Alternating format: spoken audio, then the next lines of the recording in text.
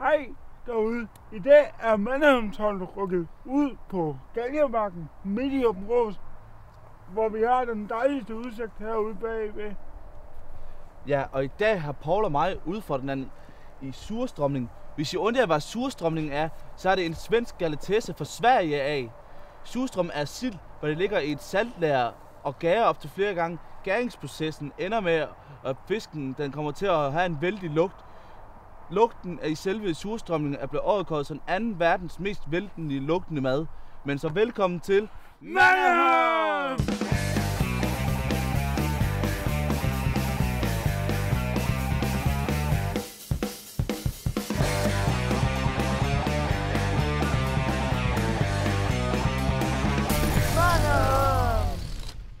Du må få jer at åbne dåsen. Jeg tror, det er bedst, at vi får noget sikkerhedsudstyr på. Det tror jeg også. Se, vent lige to minutter. Vi kommer lige om lidt. Uha. Så er vi da vist klar, Simon. Ja, men jeg kan jo se, det er snart er frokost. Jeg kan ikke få prikket hul. Kan du ikke få prikket hul, Paul? Skal farmand hjælpe her? Føj! Nej, det lugter sur musi. Nej, det lugter sur, den der dåse. Kan du åbne den? Skal jeg hjælpe dig, Paul? Nej, føj, hvor den stank. Det var faktisk, det var, ej, den er ikke så slemt lige nu. For søren da. Der var fandme faktisk mest græs, faktisk, da den lige åbnede. Der lugter den lidt af sur nums. Ej, føj. Nej, ej. Fu- Nej, der lugter. Nej, der lugter af sur tær, Paul. Nej, Det Paul. lugter ikke være i mine fødder. Det tror jeg næsten, den gør lidt. Nej, føj. Den, den lugter, men jeg, jeg troede, den lugtede værre end det her, men den lugter sgu da. Han er godt nok kras. Ja. Tak fordi du vil åbne for mig. Der må jeg hellere tilberede. Øj, den stinker, Paul. Den lugter godt. Føj. Men han lige for at spytte den efterfølgende. Nej. Nå, så jeg kan åbne den. Skal vi se, hvad jeg har lyst. Pas på, må ikke skære dig, Simon.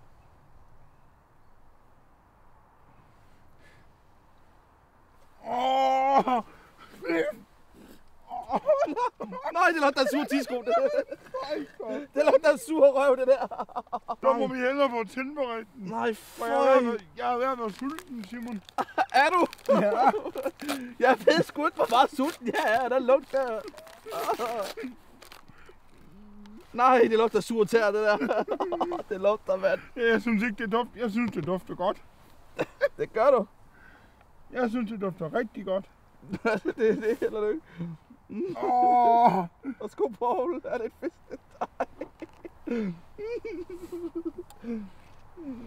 Åh, oh, føj. Er det, ikke, er det ikke bare en, der ser lidt mere, lækre ud den der? Jeg skal lige have det hele? Nej, du skal spise det hele, jo. Jeg skal lige se, at der er noget indmad i den. Det tror jeg ikke, der er. Er du frisk? Ja, jeg kan ikke love, at jeg kan spise den helt, Paul, men jeg prøver da at give den Hvis du Jensen. spiser den hele, så giver jeg en sodavand. Nej, den stinker, mand. Nå, skål, Paul. Skål. Føj. Det smager faktisk godt.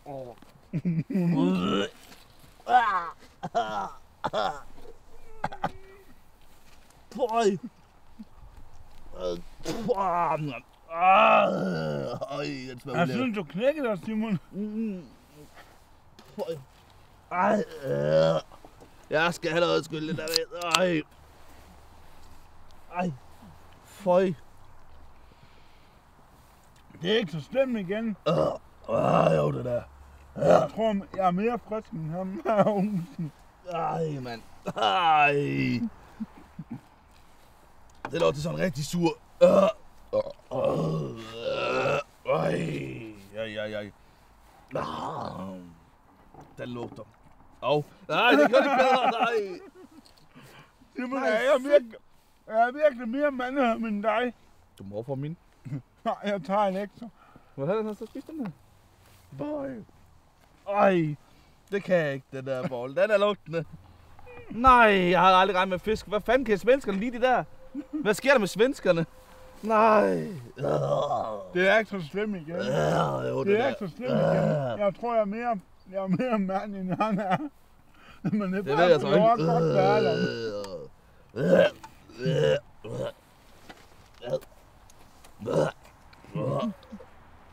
Øj, hvordan lugter, Paul?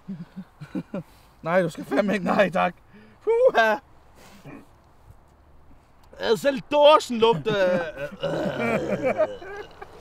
Ad. Jeg får brus i munden der. Nej. Nej, mand. Det har jeg aldrig regnet med. En fisk kan være så styg. Du er fa... Ja, Paul, jeg tror ikke, du har en lugtesans eller en smagsansen af.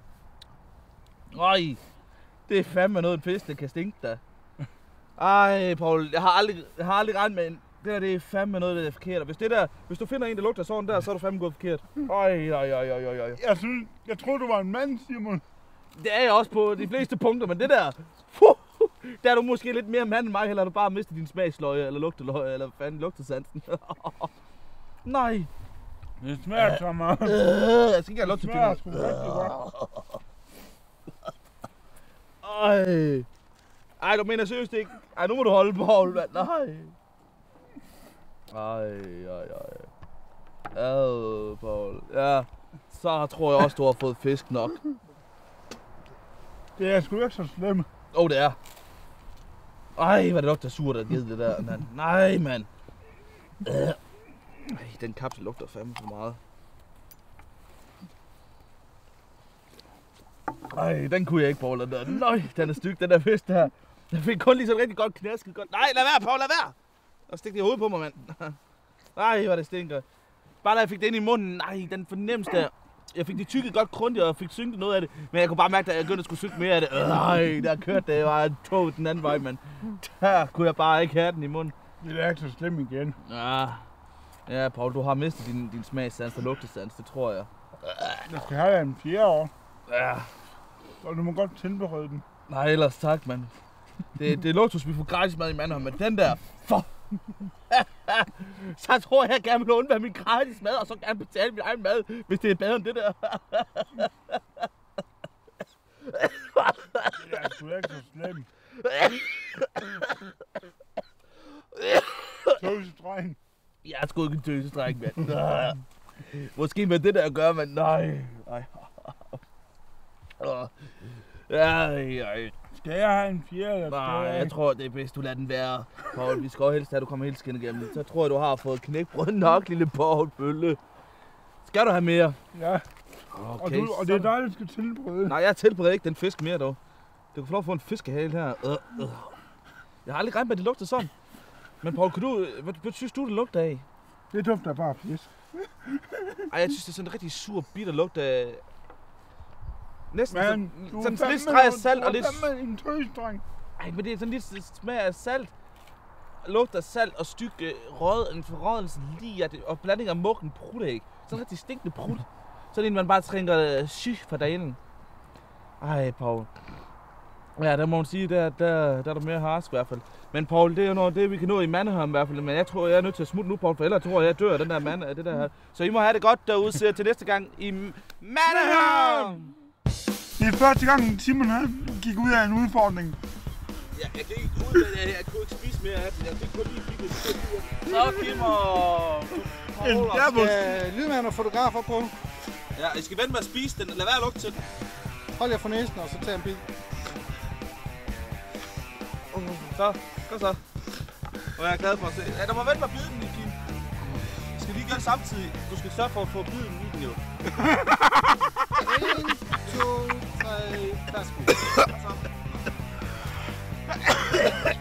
Ej, jeg kan simpelthen ikke fy for satan bare lugt. Bid hurtigt, uden at lugte for meget. Hvor hvad kan, hvad, hvad kan mit stykke? Ja, noget galt med folk. Nu har ikke smag